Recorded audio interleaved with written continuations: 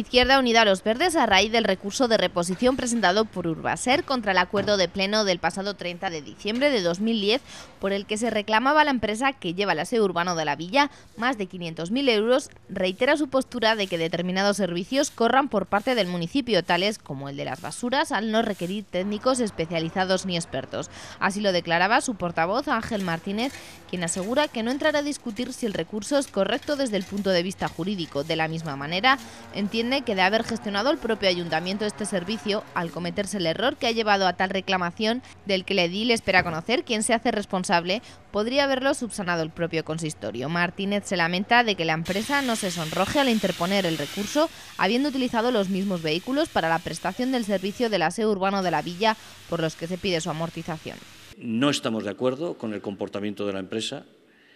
Mm, asumimos que ha habido un error, que habrá que buscar la responsabilidad en el ayuntamiento, pero que un error por parte del ayuntamiento no exime para que reflexiones por parte de la empresa,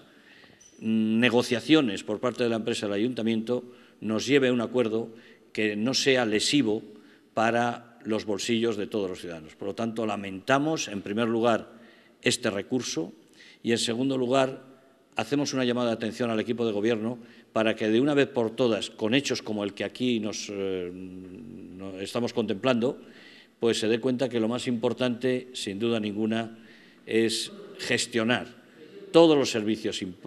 trascendentes de este ayuntamiento desde el propio ayuntamiento. El edil Izquierda Unida Los Verdes expresa que no se cansará de repetir que la privatización es un mal negocio para los arandinos, para lo que argumenta que se impide el abono del IVA al municipio, así como el beneficio empresarial, a la vez que también indica que la ciudadanía no tiene derecho a decidir sobre las acciones que lleva a cabo Urbaser. Martínez, a pesar de que cree que en estos momentos es muy difícil rescindir el contrato que se firmó con esta empresa por 10 años, ejemplifica en servicios que a su parecer funcionan bien en Aranda gracias a que su gestión es pública, como la biblioteca, la luz o el agua, frente a otros privatizados como las piscinas. En Aranda de Duero la electricidad funciona bien, el servicio de aguas funciona bien, el servicio de deportes funciona bien, el servicio de biblioteca funciona bien y todos son llevados por eh, funcionarios o laborales del ayuntamiento. Sin embargo,